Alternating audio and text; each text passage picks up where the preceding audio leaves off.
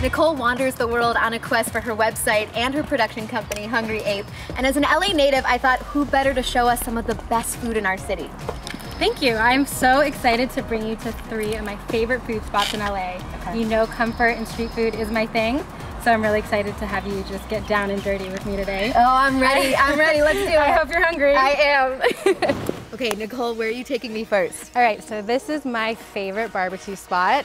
This kid, he's 25, he does it out of his backyard. It's up and coming. A lot of people don't know about it yet, wow. but the brisket is the best brisket I've ever had in my life. We have to taste yeah, it. Yeah, okay. it's so good.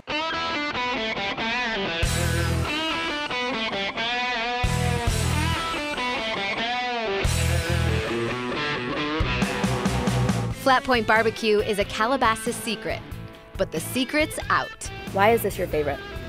honestly, the simplicity of it and the first thing I said when I like put it in my mouth, I was like, this is butter. It like melts in your mouth. And for me, I, I like my meat juicy. I need it to be like dripping and like have a lot of flavor and that's exactly what it is. I've went, I've been to Texas, I went to Austin, I've been to like places that have the best barbecue and yeah. there's just something about this one and it's made with love, you know? The best way to contact me if you want to place an order is uh, doing it through Instagram and just letting me know how much you want ahead of time. That way you're guaranteed a spot. Um, once you're here, there's not really much of a wait. There's usually a, a crowd of people hanging out. There's free beer. Um, I like to keep it true to the backyard feel. So it is a backyard barbecue. So you meet new people, bring your friends, bring your family. It's, uh, it's a very fun event. I try to do it every weekend. So. That's so fun. Yeah. I have a strict no fork policy at all my pickups, but I, uh, it's messy. It's barbecue. It's not supposed to be fancy. The verdict?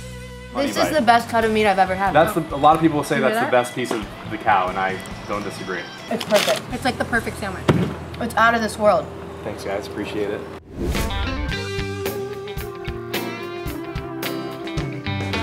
Our second stop was Howlin' Ray's, a fried chicken joint known for their two-hour wait, as well as a secret menu item Nicole dubs her favorite in Los Angeles. By the way, this is not on the menu. It's the Luis style. Oh, sandwich. Oh right my here. god! I know. So this is not on the menu. This is oh. like their secret style sandwich that they do. The regular sandwich is on like a regular hamburger bun. This is on two pieces of white bread with the fried chicken in the middle, cheese, the sauce, the lettuce. This is the best sandwich in LA right here. I can barely fit it into my mouth. I know. Oh my god. I know. And our last stop so growing up in LA, I feel like I had to take you to a Mexican spot. Angels. Not quite a taco stand, not quite a Mexican restaurant. This place is as authentic as it gets. This is my favorite taco. It's this right here. They, they, um, it goes around on the skewer for like 12 hours. They marinate it. It has like a spicy kick. This is um, cow's head. So I mean, I'm counting on you to be brave today. And then this is the carne asada quesadilla. This is the one I'm most excited really? about. Really? Yeah. Okay. I mean, quesadillas you can never go wrong. You like it? Oh my you god. You can taste the tortilla here, like the homemade tortilla makes it, right? That's what sets it apart. I have no words.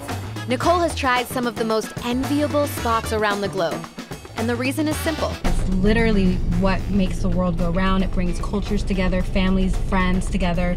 It's the mm-hmm. common denominator in every culture, I feel like, you know? Like, it is. It's like breaking bread with somebody. And why these three? These places are like really me. Yeah. Like they're just like dirty and saucy and messy and like that's how I like to eat.